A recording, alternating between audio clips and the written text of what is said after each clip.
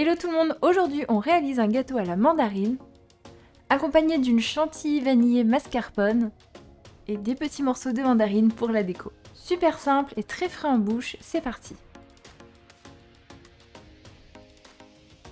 Je commence par fouetter les œufs avec le sucre.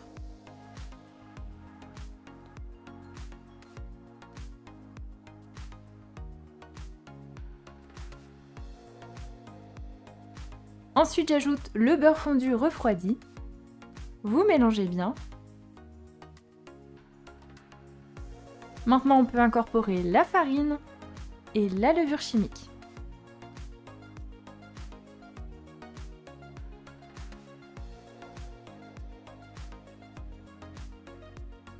Quand on arrive à avoir un bon mélange homogène, on va pouvoir ajouter le jus de mandarine en deux fois.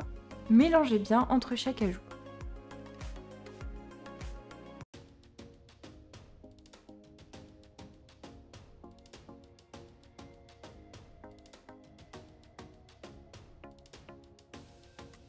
On verse la préparation dans un moule beurré et fariné rond d'environ 20 cm de diamètre. Et j'enfourne environ 30 minutes dans un four préchauffé à 180 degrés en chaleur tournante. Plantez la lame d'un couteau au centre pour voir si le gâteau est bien cuit. Si ce n'est pas le cas, vous pouvez prolonger un petit peu la cuisson. À la sortie du four, vous allez pouvoir démouler le gâteau. Je le retourne une nouvelle fois puisque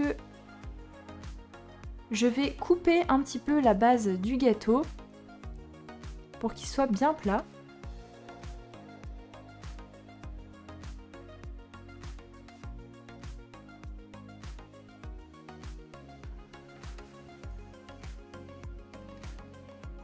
Et je vais y verser, lorsqu'il est encore chaud, encore une fois, du jus de mandarine.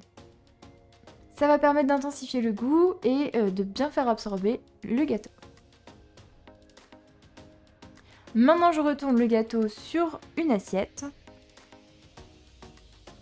Je vais le couvrir et le laisser refroidir. Lorsqu'il est refroidi, vous allez pouvoir préparer la chantilly en mélangeant de la crème liquide 30% de matière grasse froide avec 2 cuillères à soupe de mascarpone,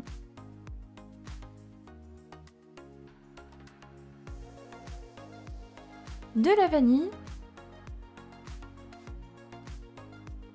et une cuillère à soupe de sucre glace. Vous fouettez à vitesse moyenne. Surveillez bien et arrêtez-vous lorsqu'on voit bien les traînées du fouet. Il ne faut pas aller trop loin pour éviter que la chantilly ne graine.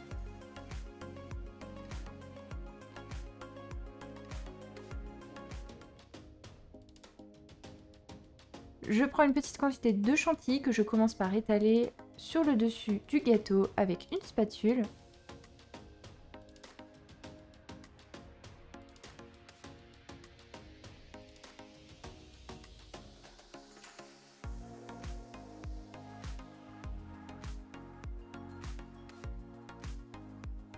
Le reste, je le mets dans une poche à douille munie d'une grosse douille cannelée.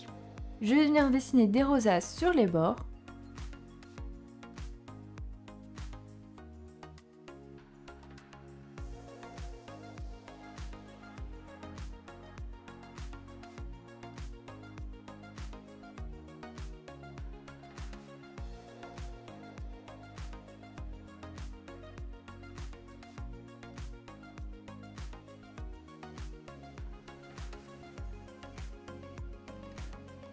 Je complète avec des petites pointes de chantilly.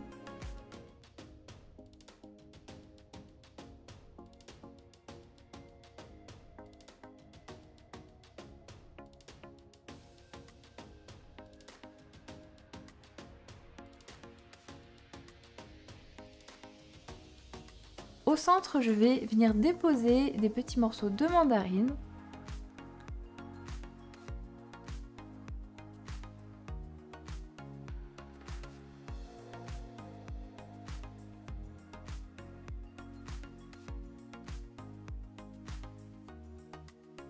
et pour terminer une petite pointe de chantilly au centre.